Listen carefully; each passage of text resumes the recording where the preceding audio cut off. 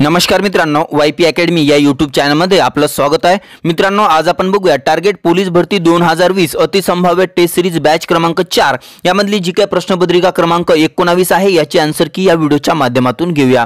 तत्पूर्वी जर तुम्ही आमच्या चॅनलला नवीन असाल तर आमच्या चॅनलला सबस्क्राईब करा आणि बेल आयकॉन सुद्धा दाबा जेणेकरून पोलीस भरतीविषयक जे नवनवीन व्हिडिओ असतील ते तुमच्याकडनं मिस होणार नाही. चला तर मित्रांनो सुरू करूया आजचा व्हिडिओ बघा मित्रांनो हा जो पेपर आहे तो नऊ नोव्हेंबर दोन हजार वीस रोजी झालेला आहे. वेळ आहे एक तास. एक एकूण शंभर प्रश्न आहे. शंभर गुणासाठी आता एक तास वेळ यासाठी दिलाय. कारण यामध्ये सर्व जी केचे जे प्रश्न आहे ते सामान्य ज्ञान जी केचा मेगा सराव याच्या माध्यमातून होणार आहे. यामध्ये एकूण शंभर प्रश्न आहे. आता यामधले जे काही प्रश्न आहे ते प्रश्न आपण स्पष्टीकरणासह घेऊया. त्याआधी जे उमेदवार नवीन असतील आणि टेस्ट सिरीज जॉईन करण्यासाठी इच्छुक असतील त्यांनी सत्तर सत्तावन्न तीनशे शहाण्णव एकशे त्रेचाळीस या नंबरवरती संपर्क करायचा आहे. यामध्ये तुम्हाला वीस पी डी एफ पेपर मिळणार आहे. प्रत्येक पेपरची तुम्हाला अँसर की मिळणार आहे. प्लस प्रत्येक पेपरचं व्हिडिओद्वारे स्पष्टीकरण पर्सनली तुमच्या व्हॉट्सअपवरती मिळणार आहे. याची जी फी आहे ती आहे शंभर रुपये. ही फी तुम्हाला फोनपे किंवा गुगल पेद्वारे पे करायची याच नंबरवरती. आणि पेमेंट केल्याचा स्क्रीनशॉट प्लस तुमचं नाव आणि जिल्हा याच नंबरवरती पाठवायचं आहे. तुम्हाला टेस्ट सिरीजमध्ये जॉईन केलं जाईल. बघूया पहिला प्रश्न. नुकतीच भारताच्या पहिल्या सौर ऊर्जेवर चालणाऱ्या रेल्वेचे उद्घाटन कोठे झाले? आता भारतामध्ये पहिल्यांदा सौर ऊर्जेवर रेल्वे चालू होणार आहे म्हणजे चालू झालेले आहे. आणि त्याचं जे उद्घाटन आहे ते उद्घाटन केरळ या राज्यामध्ये झालेलं आहे. बी नंबरचं ऑप्शन केरळ याचं करेक्ट आन्सर असणार आहे. आता त्या मार्गाची लांबी किती आहे? तर दोन पॉईंट पाच किलोमीटर त्या मार्गाची लांबी आहे रेल्वे मार्गाची. त्यामध्ये एकूण तीन डबे आहेत जी की या ठिकाणी सौर ऊर्जेवर चालणारी ही रेल्वे आहे. आणि त्यामध्ये पंचेचाळीस प्रवासी बसतील एवढी त्याची क्षमता आहे. त्यानंतर समोरचा प्रश्न ग्रुपने अलीकडे कोणाची ब्रँड अँबॅसेडर म्हणून नियुक्ती केली आहे? ऑप्शन आहे सोनू सूद सलमान खान अक्षय कुमार आणि राजकुमार राव. तर सिस्का ग्रुपने राजकुमार राव यांना ब्रँड अँबॅसेडर म्हणून यांची नियुक्ती केलेली आहे. डी नंबरचं ऑप्शन राजकुमार राव हे अभिनेते आहेत. त्यामुळे डी नंबरचं ऑप्शन याचं करेक्ट आन्सर आहे. यानंतर महिला टी टी ट्वेंटीचा तिसरा सत्र डॅश सुरू झाला. तर महिला टी ट्वेंटीचा जो तिसरा सत्र आहे तो सध्या शारजामध्ये सुरू आहे. अ नंबरचं ऑप्शन शारजहा जे की या ठिकाणी यू ए मध्ये आहे शारजा जे की आपले आय पी एलचे सुद्धा सामने त्याच ठिकाणी खेळले गेले होते. त्या ठिकाणी अ नंबरचं ऑप्शन शारजा याचं करेक्ट आन्सर आहे. त्यानंतर समोरचा प्रश्न बघूया. भारतामध्ये जन्मलेली प्रियंका राधाकृष्णन कोणत्या देशात कॅबिनेटमध्ये सामील झाली? आता जी काही भारतीय जन भारतात जन्मलेली जी काही प्रियंका राधाकृष्णन आहे त्याची नुकतीच कॅबिनेटमध्ये निवड झालेली आहे. आणि ती कुठल्या कॅबिनेटमध्ये निवड झालेली आहे? तर ती न्यूझीलंडच्या कॅबिनेटमध्ये त्याची निवड झालेली आहे. अ नंबरचा ऑप्शन या ठिकाणी करेक्ट आन्सर असणार आहे. यानंतर समोरचा प्रश्न बघूया. म- मराठीतील पहिले ज्ञानपीठ पुरस्कार मिळालेले साहित्यिक कोण? आता मराठीत आतापर्यंत एकूण चार लोकांना चार जे लेखक आहेत चार लेखकांना आतापर्यंत ज्ञानपीठ पुरस्कार मिळालेला आहे. आणि सर्वप्रथम कोणाला मिळाला? तर सर्वप्रथम मिळालेला आहे वि स खांडेकर यांना.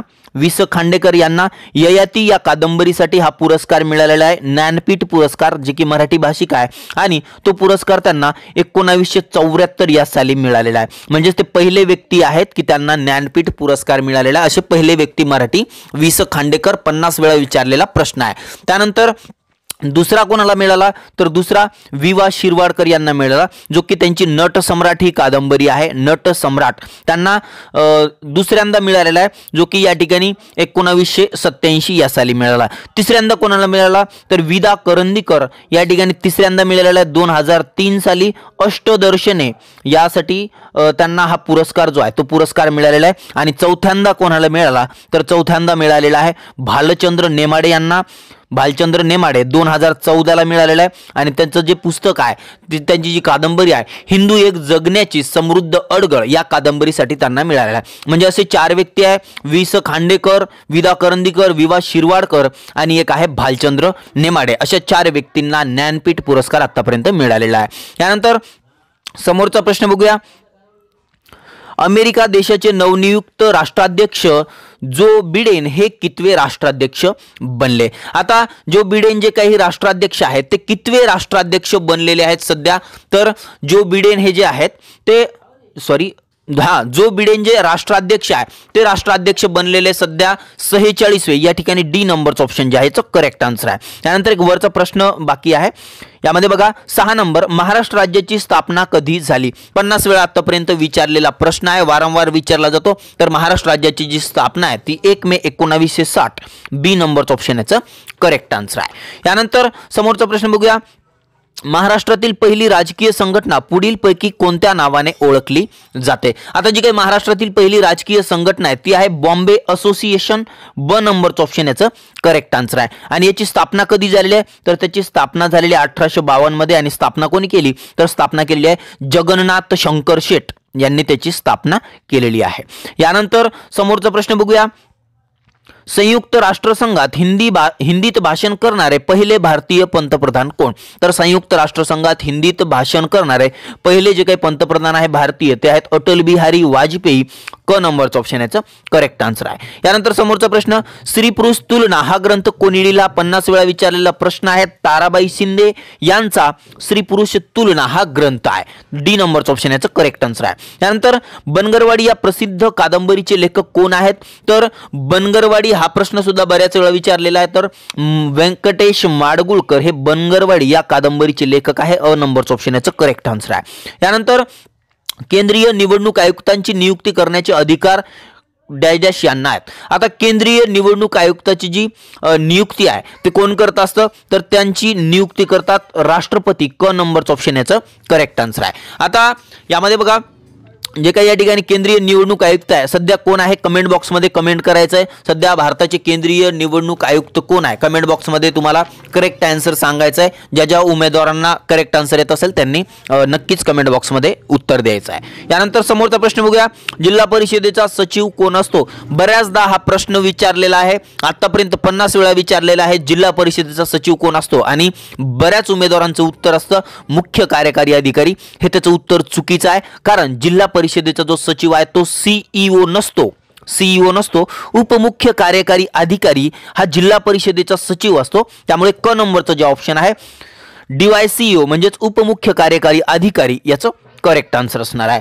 यानंतर समोरचा प्रश्न महाराष्ट्रातील ग्राम स्वच्छता अभियानाला कोणत्या संताचे नाव दिलेले आहे? आता जे काही महाराष्ट्रातील ग्राम स्वच्छता अभियान आहे त्याला संत गाडगे बाबा त्यांचं नाव देण्यात आलेलं आहे. ब नंबरचं ऑप्शन संत गाडगेबाबा याचं करेक्ट आन्सर असणार आहे. आणि जे काही केंद्रामध्ये मिशन जे होतं ग्राम स्वच्छता मिशन ते कधी सुरू झालं होतं? तर दोन ऑक्टोबर गांधी जयंती ज्यावेळी असते दोन ऑक्टोबर दोन हजार चौदापासून जे काही मिशन आहे ग्राम स्वच्छता मिशन केंद्राचं ते स्टार्ट करण्यात आलं होतं. यानंतर समोरचा प्रश्न बघूया.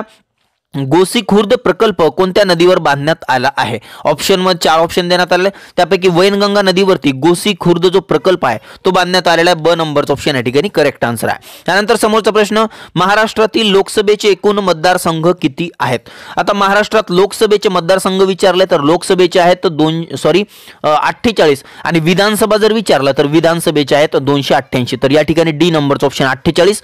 याचं करेक्ट आन्सर आहे. यानंतर समोरचा प्रश्न बघूया. अकबराच्या महसूल व्यवस्थेचा प्रमुख कोण होता? तर अकबराच्या महसूल व्यवस्थेचे जे प्रमुख होते ते होते तोडरमल. अ नंबरचं ऑप्शन या ठिकाणी करेक्ट आन्सर आहे. यानंतर समोरचा मिठागारांचा जिल्हा म्हणून कोणत्या जिल्ह्यास ओळखतात? आतापर्यंत बऱ्याचदा विचारलेला प्रश्न आहे. तर मिठागारांचा जिल्हा म्हणून रायगड या जिल्ह्यास ओळखलं जातं. बी नंबरचं ऑप्शन रायगड. याचं करेक्ट आन्सर आहे. यानंतर माणसाच्या मांडीच्या हाडास डॅश डॅश अशी संज्ञा आहे. तर माणसाचे जे मांडीचं हाड असतं त्याला फिमर असं म्हटलं जातं. अ नंबरचं ऑप्शन याचं करेक्ट आन्सर आहे. यानंतर महाराष्ट्राचे सर्वात उंच शिखर कळसुबाई याची उंची किती आहे? तर कळसुबाई जे शिखर आहे ते महाराष्ट्रातील सर्वात उंच शिखर आहे. त्याचबरोबर यामध्ये सह्याद्री पर्वतामध्ये हे शिखर आहे सह्याद्री. आणि अहमदनगर जिल्ह्यामध्ये हे जे शिखर आहे ते अहमदनगर जिल्ह्यामध्ये येतं. आणि त्याला तालुका आहे अकोले. बऱ्याचदा विचारलं जातं कोणत्या तालुक्यामध्ये आहे. तर अकोले तालुक्यामध्ये अहमद अहमदनगर जिल्ह्यातील अकोले तालुक्यामध्ये हे कळसुबाई शिखर आहे. आणि ते महाराष्ट्रातील सर्वात उंच तसेच त्याची जी उंची आहे ती सोळाशे सेहेचाळीस मीटर आहे. जे की ब नंबरचं ऑप्शन या ठिकाणी करेक्ट आन्सर असणार आहे. यानंतर समोरचा प्रश्न विश्व प्र विश्वप्रसिद्ध साई मंदिर शिर्डी कोणत्या तालुक्यामध्ये आहे? तर विश्वप्रसिद्ध साईचं जे शिर्डीचं साई मंदिर आहे ते राहता या तालुक्यामध्ये आहे जे की अहमदनगर जिल्ह्यामधील राहता तालुका आहे. त्या ठिकाणी ब नंबरचं ऑप्शन याचं राहता याचं करेक्ट आन्सर आहे. यानंतर समोरचा प्रश्न भारतातील सर्वात लांब नदी कोणती आहे? तर भारतातील महाराष्ट्रातील सर्वात लांब नदी आहे गोदावरी. आपल्याला विचारलंय भारतातील भारतातील सर्वात लांब नदी आहे गंगा. या ठिकाणी डी नंबरचं जे ऑप्शन आहे गंगा याचं करेक्ट आन्सर असणार आहे. आता गंगा नदीची लांबी किती आहे? तर दोन हजार पाचशे पंचवीस किलोमीटर त्याची लांबी आहे. त्याचा उगम कुठे होतो? तर हिमालय पर्वतामध्ये तिचा उगम होतो. या ठिकाणी हिमालय जे पर्वत आहे हिमालय हिमालय पर्वतामध्ये तिचा उगम होतो आणि उत्तराखंड या राज्यामध्ये तिचा उगम होतोय. हिमालय पर्वतामध्ये उत्तराखंड या राज्यामध्ये तिचा उगम होतो आणि दोन देशादरम्यान वाहते गंगा नदी भारत आणि बांगलादेश. आणि सर्वात लांब मोठी लांबीची नदी म्हणजे दोन हजार पाचशे पंचवीस किलोमीटर त्याची लांबी आहे. यानंतर समोरचा प्रश्न बघूया. राष्ट्रीय मध्यान्न आहार योजनेची सुरुवात केव्हा झाली? तर राष्ट्रीय मध्यान्न आहार जी आहे त्या योजनेची सुरुवात पंधरा ऑगस्ट एकोणावीसशे पंच्याण्णव म्हणजेच या ठिकाणी क नंबरचं ऑप्शन याचं करेक्ट आन्सर आहे. यानंतर समोरचा प्रश्न बघूया. वसंतराव नाईक समितीने डॅश डॅश घटकास पंचायत राज व्यवस्थेमध्ये अधिक प्राधान्य दिले आहे. तर वसंतराव नाईक समितीने जिल्हा परिषद जी काही घटक आहे या घटकास अतिशय महत्वाचं प्राधान्य दिलेलं आहे. त्यामुळे क नंबरचं ऑप्शन जिल्हा परिषद याचं करेक्ट आन्सर आहे. यानंतर समोरचा प्रश्न बघूया.